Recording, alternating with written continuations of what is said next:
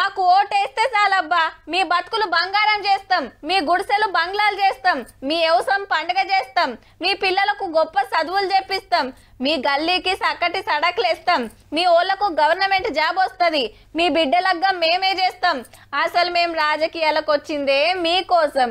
మీకు సేవలు చేస్తానికి. అన్నట్టుంటే మన లీడర్ల హామీలు. కానీ ఓట్లు వచ్చినాక వాళ్ళటు మనం ఇటు ఎందరిని చూడలే ఎన్ని హామీలినలే అయితే జర్రంత ఆల్చమైనా గీసారైతే పక్క మాట నిలబెట్టుకుండబ్బా.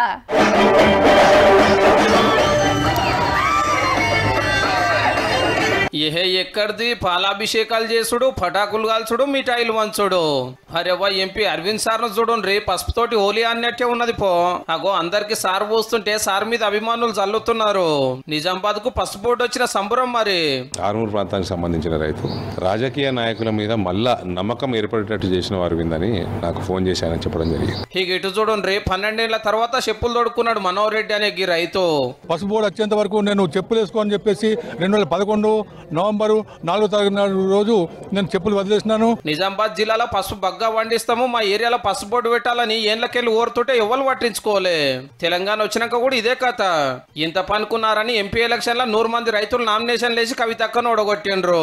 నన్ను గెలిపిస్తే బాజాప్తా తెస్తాను అరవింద్ సార్ బాండ్ పేపర్ రాసిస్తే పార్లమెంట్కు పంపిరంటే పసుపు బోర్డు ఎంత ముఖ్యమో చూడండిగా నిన్న పాలమూరుకు వచ్చి ప్రధానమంత్రి సార్ అది సాంక్షన్ చేసుడుతోటి ఏళ్ళకెళ్ళి ఎదురు చూస్తున్న కళ తీరినట్టు అయ్యింది. పసుపు బోర్డు వస్తే కంపెనీలు వస్తాయి ప్రయోగాలు పెరుగుతాయి ఏరే దేశాలకు పంపుడు పెరుగుతుంది. రైతులకే కాదు లోకల్ పబ్లిక్ కూడా మస్తు ఫాయిదా. ఇచ్చిన మాట నిలబెట్టుకున్నాను అరవింద్ సార్ అందరు తారీఫ్ చేస్తున్నారు.